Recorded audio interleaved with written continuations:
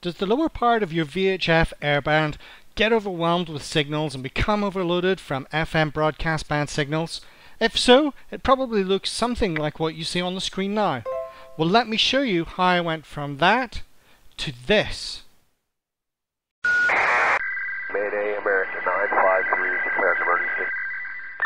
Okay, so here we are monitoring part of the VHF airband this evening and you can see right now on the screen roughly from 118 up to 125 and a half megahertz is being displayed. The receiver in question is an AirSpy R2 and that is hooked up to a custom um, airband dipole antenna that I have made that is around 40 feet high in the air and connected with RG6 coax.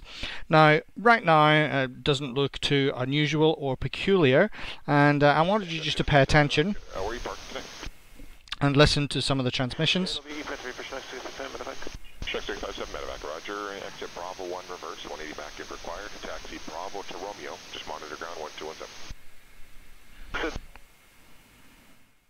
So um, we have got uh, TAR on 1183, we have uh, approach on 120.5 or arrivals it's also known as, uh, we have ground and clearance that are these two 1241 and 121.7 so all of which I can pick up uh, simultaneously with the AirSpy R2 and, um, and what I want to demonstrate is just what happens um, under normal circumstances because right now I'm using an FM filter. So I'm using a Nooelec Flamingo FM filter which enables me to be able to monitor this part of the spectrum.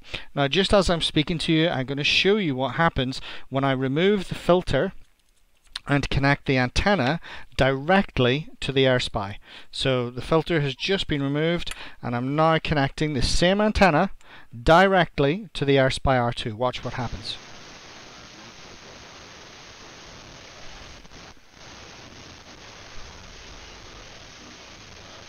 Okay, so that mess is FM broadcast band interference that's being picked up by the antenna and possibly by the uh, coax feed line as well. But that completely ruins reception on this part of the airband.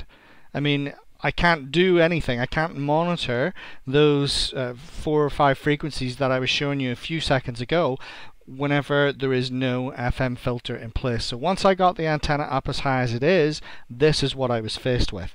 So I made the decision to purchase the Nooelec um, Flamingo FM filter. And what it is, it's a it's a band stop filter. So I'm just going to put it back in line because that is ridiculous. I didn't change any of the settings.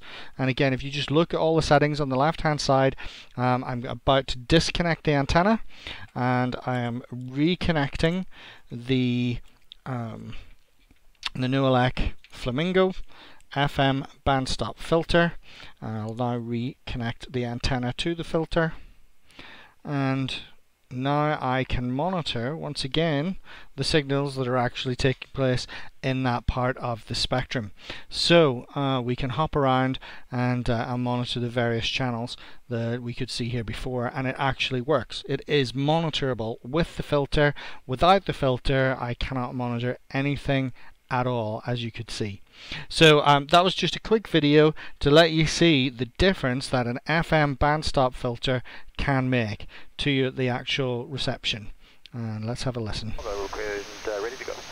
Target 922 Heavy Tower Roger, contact departure 133.65 airborne, the wind 160 at 14. Clear takeoff runway 12, good Contact departure 133.65 airborne, clear for takeoff runway uh, 12, copy that, uh, 922, good so you can see there again uh, the signal was coming through on TAR and uh, um, unusually I was able to pick up the uh, aircraft right there on the ground as well on the TAR frequency. That was being rebroadcast on the clearance and the ground frequencies there at the same time because the one controller is manning all three positions right now. But without the filter I don't get to hear that. So again I'll just uh, I'll remove the filter. We'll uh, plug the antenna directly into the AirSpy and I'll lower the gain and we'll see even if I can pick anything up. I'm not sure if I'd be able to even receive a single thing on these frequencies but, but maybe I can get something. So um, let's go over here to the gain and this is the first time I'm modifying the gain in this video. So we'll drop the gain down here and see if anything even comes through on those frequencies. So now it's just a waiting game for another transmission to take place. The aircraft that was given permission to take off will actually come up next on the uh, departures frequency, which isn't in this part of the band, so we won't see it. Um, now you'll notice that the FM broadcast interference does tail off the higher you get in frequency, but uh, right now it is quite bad in this part of the spectrum. So right now there is a transmission happening on 119.5 uh, that's been picked up by the scanner, but not even seeing it here because of all the interference. So um, oh, we've got one here at 123.2. That's an aircraft that's basically right overhead in the circuit for a local uh, airport. But we, um, yeah, we missed completely the transmission on 119.5 there. Uh, it was just too weak to pick out from all that noise without the filter. So once again, uh, removing the antenna and putting the filter back in place then connecting the same antenna back up to the filter making the chain once more. And then what I'll do is I'll uh, I'll put the game back to what it was before. And then we actually get to receive.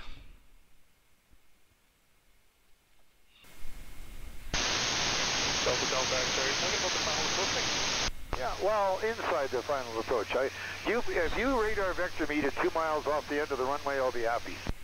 Okay, I can do that, and uh, you can uh, continue on the present heading for now. Present heading for now. Delta Delta X-ray, thank you. Delta 922 heading November Center 1343. Delta Delta 1343, okay, 922, Canadian. So there you can see the difference that having the filter makes.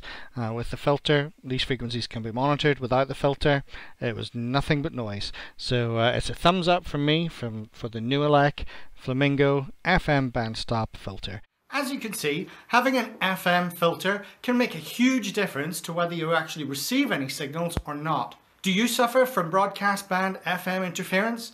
If so, what solutions have you used? Please comment below and let other SDR users know what your solution has been.